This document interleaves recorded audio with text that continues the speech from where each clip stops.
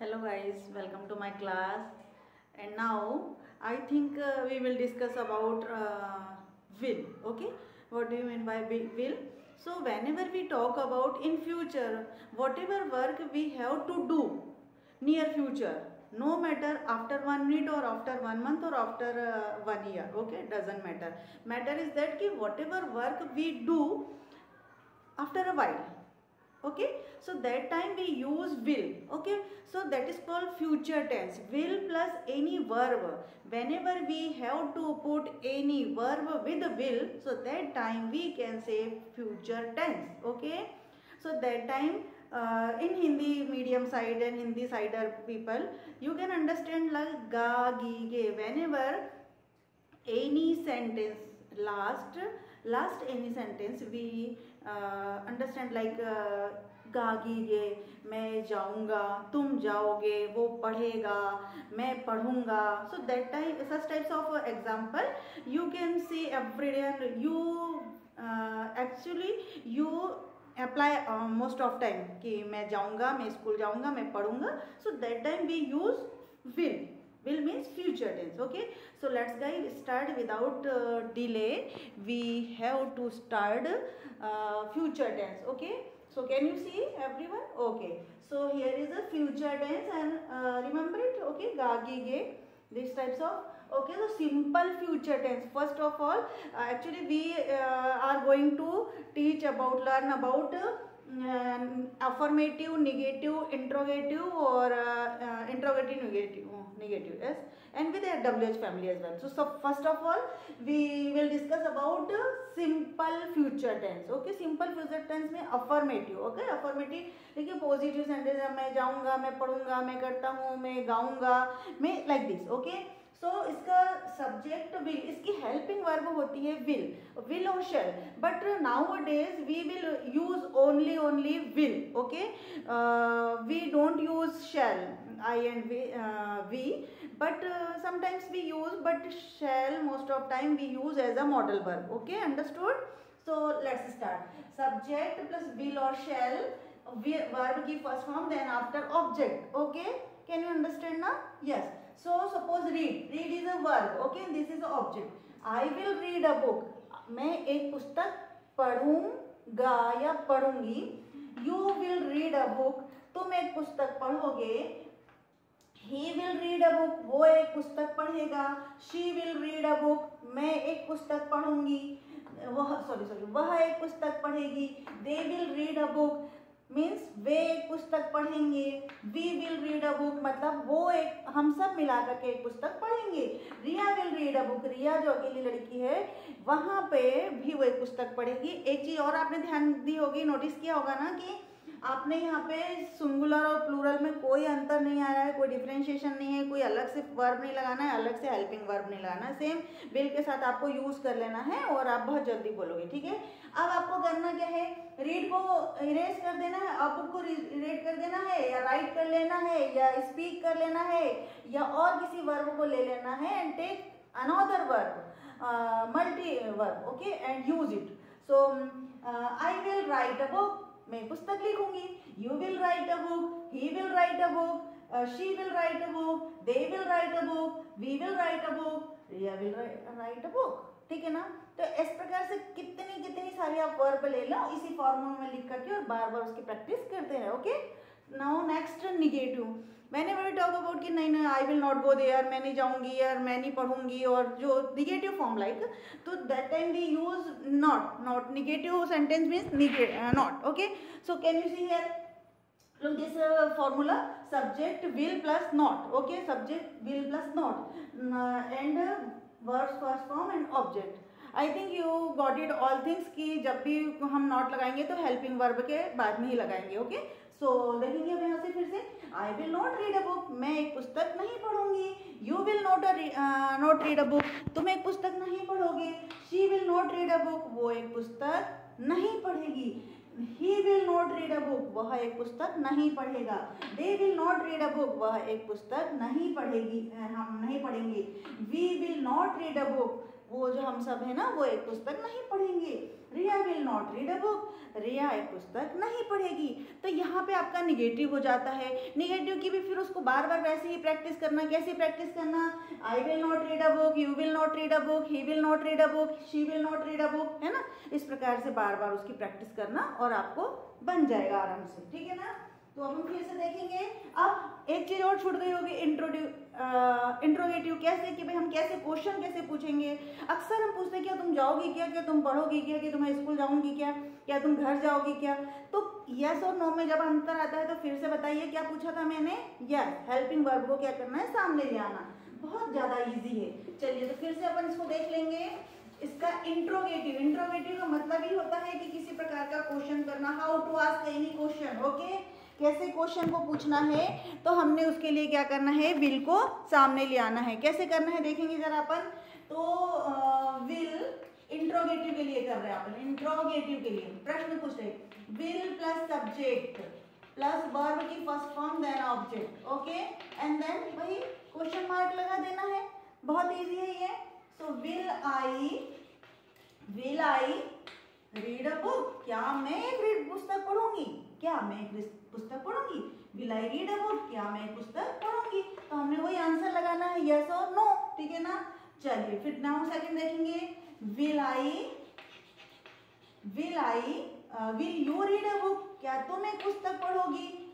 Will you read a book ठीक है, क्या तुम एक पुस्तक पढ़ोगी?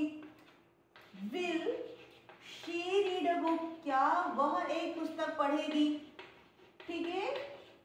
Yes so will he will he read a book क्या वो एक पुस्तक पढ़ेगा? ठीक है? विल दे हाँ एक चीज़ ध्यान रखना है, इनको स्मॉल लेके आ जाना ठीक है?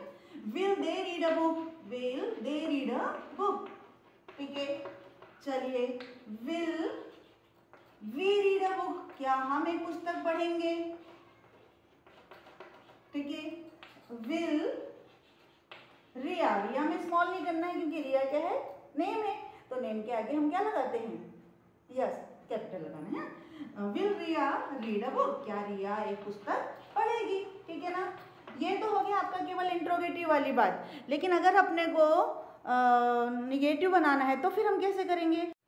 सी गाइस अब हम क्या बात करेंगे कि इंट्रोगेटिव क्या, मैं नहीं जाऊँगी क्या? क्या मैं नहीं पढ़ूँगी क्या? क्या वो नहीं पढ़ेगी क्या? इस प्रकार का जब प्रश्न आएगा, उसमें भी यस और नो में आंसर देना है है ना? तो फिर हम क्या कैसे करेंगे? वही will plus subject plus not plus verb की first form then object okay so will I not read a book क्या मैं पुस्तक नहीं पढ़ूँगी? Will you not read a book क्या मैं एक पुस्तक नहीं, क्या तुम एक पुस्तक नहीं पढ़ोगे? Will he not read a book क्या वो एक पुस्तक नहीं पढ़ेगा? Will she not read a book क्या वह एक पुस्तक नहीं पढ़ेगी? Will they not read a book क्या वे पुस्तक नहीं पढ़ेंगे? Will we not read a book हम क्या हमें पुस्तक नहीं पढ़ेंगे? Will Riya not read a book क्या रिया एक पुस्तक नहीं पढ़ेगी? तो इस प्रकार से आपको बार बार प्रैक्टिस करना है। अब अपने पास एक और रह गया है, जो विद डब्ल्यू एच फैमिली है ना? तो आपको बताया था कि विद डब्ल्यू एच फैमिली के साथ में आपको क्या करना है? कुछ भी नहीं करना है। जो हमारे पास सेंटेंस लिखा हुआ है, देखो, मैं इसी में करके बताती हूँ तो आपको बहुत ईजी हो जाएगा, ठीक है? अगर आपको नॉट नहीं लगाना है तो नॉट को हम इरेज कर देंगे अदरवाइज़ नहीं लगाना है तो फिर हम उसको रहने देंगे। सपोज़ आप इंट्रोवेटिव निगेटिव में लगा के देखा, दिखाते हैं आज अपन, है ना? तो क्यों नहीं करता भाई? क्यों नहीं करेगा वो? क्यों नहीं पुस्तक पढ़ेगी वो? कैसे वो पुस्तक नहीं पढ़ेगी? डांट के भी बोलते हैं ना टीचर कभी कभी क्यों पुस्तक क्यों नहीं पढ़ेगी? ठीक है ना? तो हम कैसे लगाएँगे? देखेंगे पहले, है ना? पहले इंट्रोगेटिव निगेटिव में डब्ल्यू फैमिली को अप्लाई करेंगे देन आफ्टर इंट्रोगेटिव में भी अप्लाई करेंगे, ठीक है? चलिए। वाई लगा दें यहाँ पर अपन सबसे पहले वाई। वाई मीन्स क्यों? ठीक है ना स्मॉल कर लिया। Why will I not read a book why will I not read a book क्यों मैं नहीं क्यों? मैं क्यों नहीं पुस्तक पढ़ूँगी? ठीक है तो फिर आपको उसका रीजन देना पड़ेगा कि मैं क्यों नहीं पुस्तक पढ़ूँगी? Because don't I don't have book and any in types of any reason you can give है ना? So why will you not read a book तुम क्यों नहीं पुस्तक पढ़ोगी? यस yes, ना? Why will why will he not read a book क्यों? वह क्यों नहीं पुस्तक पढ़ेगा? So why will she not read a book वो क्यों नहीं पुस्तक पढ़ेगी? ठीक है ना? Why will they not read a book वो वो लोग इस पुस्तक क्यों नहीं पढ़ेंगे? फिर why will we not read a book हम लोग पुस्तक क्यों नहीं पढ़ेंगे? भाई, क्या प्रॉब्लम क्या है? है ना? वाई लगा दिया अपन ने? फिर why will Riya not read a book Riya एक पुस्तक क्यों नहीं पढ़ेगी? क्यों नहीं पुस्तक पढ़ेगी? भाई, क्या कारण है? क्या रीजन क्या है? गिव मी रीजन ओके तो इस प्रकार से जब बात करना है तो वाई लगा के बार बार प्रैक्टिस करेंगे और फिर हाउ लगा लो। चलो, इसकी जगह पे थोड़ा देर हाउ लगा करके देखेंगे। इसको नोट डाउन करो और फटाफट फिर उसकी प्रैक्टिस करो।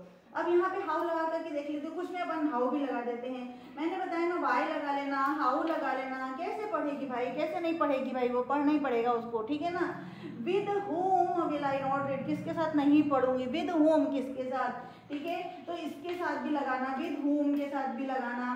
When will I not read कब नहीं पढ़ूँगी टाइम बताने के लिए, है ना? वैन लगा देना। Where will I not read कहाँ नहीं? मैं कहाँ नहीं पढ़ूँगी पुस्तक? है ना? रूम में नहीं पढ़ूँगी क्लासरूम में नहीं पढ़ूँगी, कहीं है? तो प्लेस बताना हो टाइम बताना हो, किसी के साथ बताना हो, कैसे पढ़ा हो रीज़न देना है इन्फॉर्मेशन देना है, तब तक के, तब तक के अपन यही चीज़ें करेंगे, ठीक है ना? तो यहाँ तक के क्लियर हो जाएगी बातें। अभी इसके बाद में इसकी प्रैक्टिस करना, कैसे करना मैंने बता दिया था आपको फिर से। फिर से मैं बता देती हूँ कि बार बार हमको क्या बोलना है?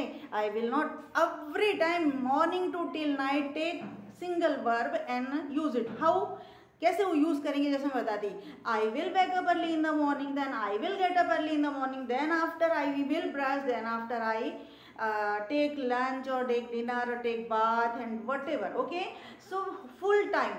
Morning to till night you have a lot of verbs and use it with will okay? So uh, first of all uh, you will have to take uh, morning to till night uh, little verb like uh, uh, wake up to sleep okay? And then after other verb. So you can speak english very well and very fluent but take practice. Otherwise you will not get success, okay? So, every success सब success के पीछे क्या राज होता है? Hard work okay key of hard work every success is key of hard work hard work जब तक हम करते हैं, तब तक हमारी सक्सेस बहुत जल्दी हमको करीब करीब मिलती है, ठीक है ना? और whenever you have decide तुमने जब डिसाइड कर लिया है तो चलते रहना चाहिए. कीप ऑन मूविंग इन तब तक अंटिल जब तक मत रुको, जब तक के उस क्षेत्र पे, उस मंजिल पर, उस उस मतलब क्या बोलना चाहिए, आपके जो मंजिल है, आपका जो लास्ट स्टेयर है, वहाँ पर रुक नहीं जाते हैं, आपकी मंजिल पे नहीं रुक जाते हैं, तब तक कि आपको चलना ही चलना है है ना? ठीक है? एक्चुअली मतलब गाइज़ मैं ये कहना चाहती हूँ कि वो सारी महिलाएँ भी इस वीडियो को देख रही होंगी या देखना चाहिए, जो घर बैठे भी बहुत सारी चीज़ें सीख सकती हैं। और मैं दावे के साथ कह सकती हूँ कि आप कंसिस्टेंसी के साथ अगर एक महीने के साथ इस सब्जेक्ट को पढ़ते हो, इस वीडियो को, इन वीडियो को बार बार देखते हो तो definitely you will get success क्योंकि बहुत ईजी गोइंग है ये चीज़ें। और अगर आपके अंदर डिटर्मिनेशन है, आपके अंदर पैशन है तो you can do it okay and do it after one month you will get success okay thank you for watching me